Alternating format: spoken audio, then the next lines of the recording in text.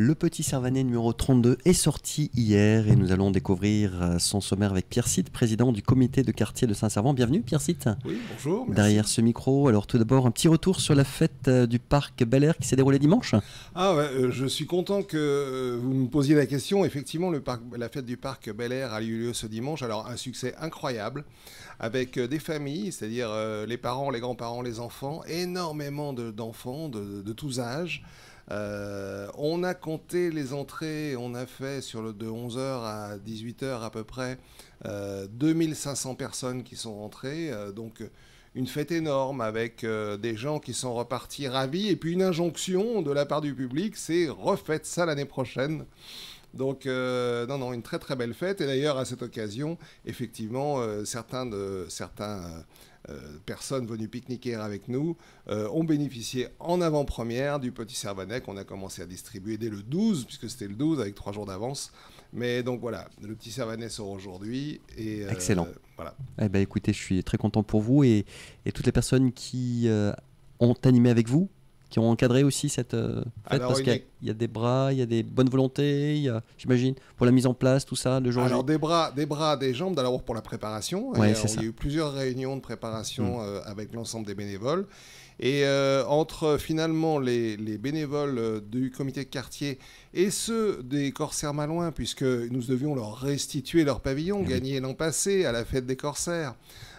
Donc ils sont venus se joindre à nous, en fait, pour récupérer leur pavillon, mais de sorte que, en fait, nous avions près de 60 bénévoles euh, sur, le, sur le terrain, ce qui nous a permis d'ailleurs d'avoir une journée extraordinaire, puisque aucun incident, tout s'est bien passé, tout le monde était ravi, et nous avons laissé le parc Bel Air en fin de journée Nickel. dans un état d'une propreté euh, remarquable, il y a sans un papier qui traîne. Les gens, euh, juste une remarque, les gens ont eu un comportement très citoyen sur le nettoyage, mais quelqu'un de, de nos, de nos bénévoles m'a fait remarquer une chose, c'est que en observant le public sur toute la journée, euh, la, personne n'a vu, le, notre bénévole n'a vu aucun téléphone portable euh, consulté pour faire des jeux, pour faire de je ne sais quoi, du streaming. En fait, les gens étaient dans la vie, dans la vie de l'instant, profiter de l'instant, et finalement, on les a, euh, avec cette fête, nous les avons un peu sortis du temps.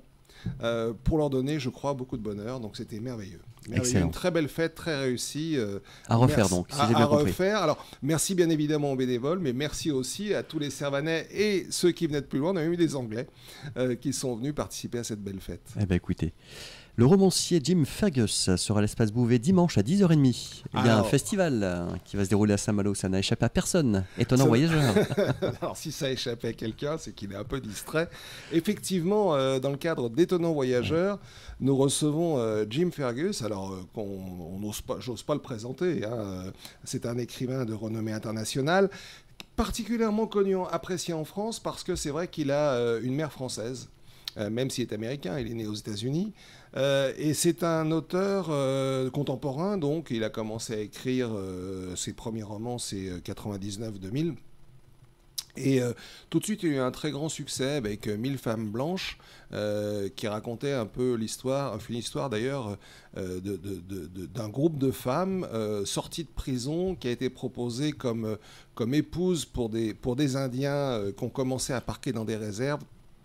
Avec l'espoir secret, j'imagine, euh, d'a- d'assimiler un peu ces populations indiennes dont on ne savait trop que faire.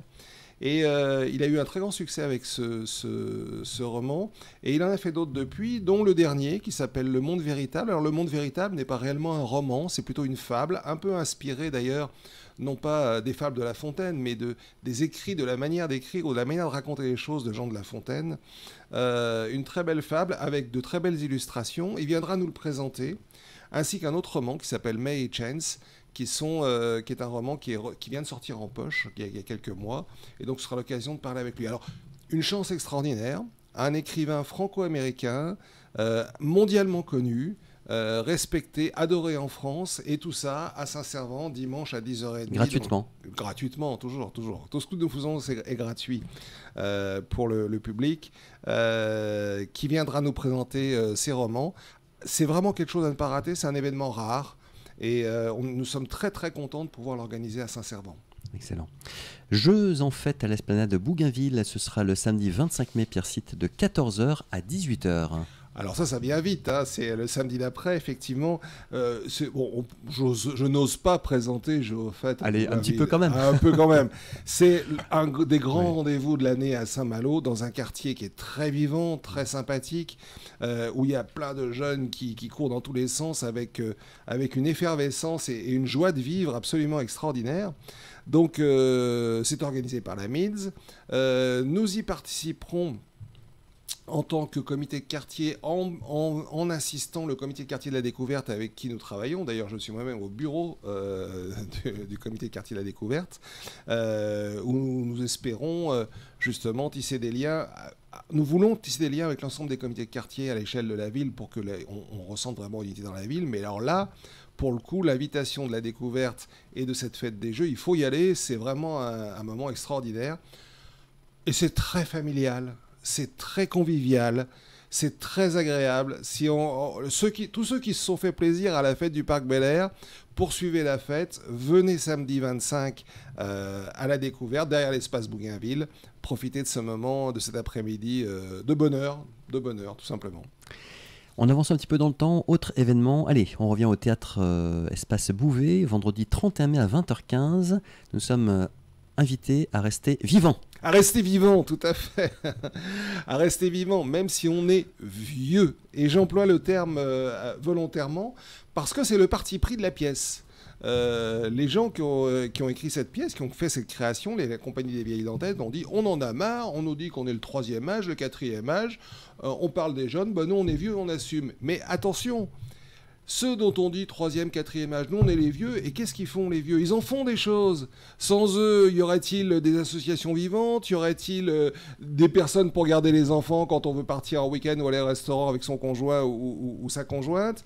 En fait, les, vieux revendiquent leur statut de vieux dans cette pièce, bien évidemment. D'ailleurs, je peux faire le mot aîné. Je sais pas vous de votre côté, mais... Écoutez... Euh, Parce que vieux, il y a une connotation. Oui, une connotation, mais justement... Et puis à partir de quel âge est vieux? Et qu'est-ce que ça veut dire être vieux? Ah, Je lance eh le débat. C'est bien, c'est pour ça que nous apportons la réponse. Donc je dis ça, Pierre, Pierre parce que je vois dans la titraille de, du petit oui. numéro 32, Staying Alive, les vieux, ce sont ceux qui sont jeunes depuis longtemps. C'est exactement ça. Et s'ils ont vieux dans leur, dans leur, dans leur, euh, dans leur, alors ils sont, euh, je dirais, euh, on commence à en faire un peu partie.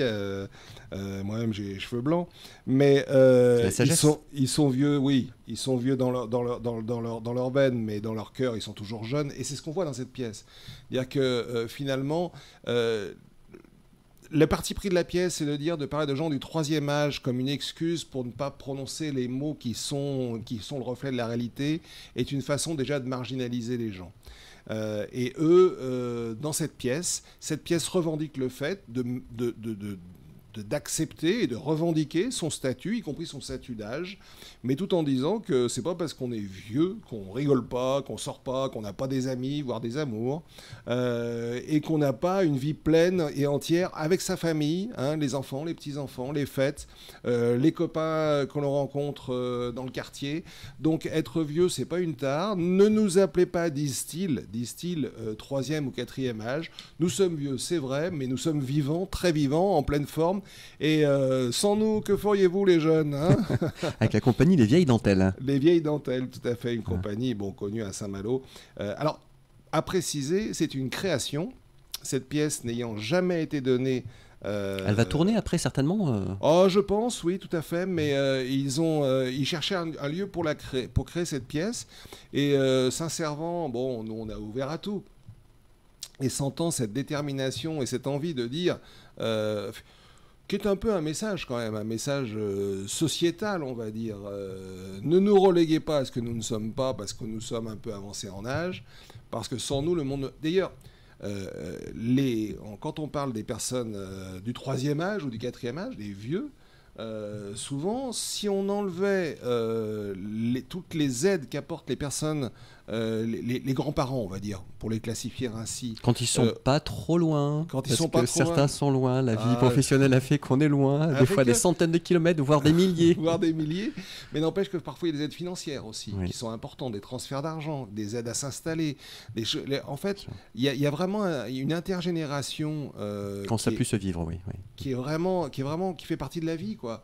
Et donc, cette revendication de dire on est vieux, nous mettez pas troisième, quatrième âge, voilà. Euh, donc, euh, on- voilà, c'est le parti pris de la pièce. Ça fait aussi la question sous-jacente qu'est-ce qui fait la valeur d'un être? Bah, qu'est-ce qui fait la valeur d'un être? Tout à fait. En et finalement, ouais. et finalement, est-ce que c'est son âge ou est-ce que c'est son âme quelque part? Et euh, ça, on le retrouve dans cette pièce. Euh, quand on parle d'une envie de vivre, de, de- de vivre pleinement. Alors bien sûr, nous savons tous euh, qu'un jour nous, nous disparaîtrons, mais dès la naissance, on peut le dire. hein, Comme euh, disait Coluche, je préfère mourir de mon vivant. oui, Hein, voilà, c'est exactement ça. Donc euh, ça fait partie de la vie, mais euh, c'est pas pour autant que parce que tous nous, nous savons être euh, mortels que bah, nous, il faut pas profiter de la vie dans tous les instants, dans le partage. Euh, dans la joie de vivre, et le partage c'est important, la vie avec les autres, c'est ce que nous, le partage, la, la vie en société, la vie en groupe, la vie, euh, la- euh, vraiment la vie commune, de- avec le plaisir qu'on a d'être avec les autres, c'est ce que nous revendiquons euh, à Saint-Servant, la, la solidarité, etc. Et cette pièce-là, c'est une pièce qui est... À ne pas manquer, hein, vendredi boule de 31 mai, vie. à 20h15, bien sûr, c'est gratuit, vous l'avez dit, Oui, Pierre fait.